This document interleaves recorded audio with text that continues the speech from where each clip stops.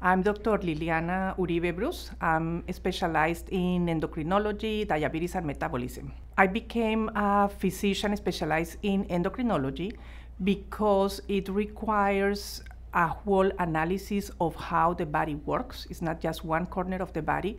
The hormones affect everything from our mood to the speed of our metabolism to how we feel to how every single organ works. And that to me is just fascinating.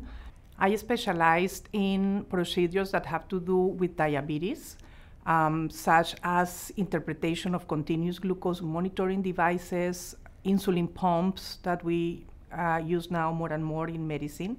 And also, I specialized in procedures that have to do with thyroid.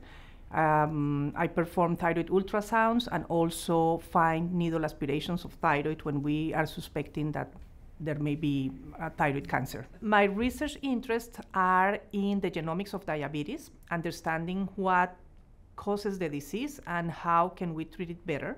I trained uh, for many years in how also to bring the research that is done in the bench in a petri dish to the patients. That is called translational medicine. Endocrinology care at Scripps is particularly advanced. We are a group of specialists with uh, many different interests uh, inside the endocrinology area we are professors, we have fellows uh, that we teach, and that also keeps us always up to date. So when we see a patient with certain needs that we know one of our colleagues really is one of the best specialists that we can find, we are able to connect with that colleague very easily and have that patient receive the most uh, advanced care possible. Doctor patient relationship is key in maintaining good health.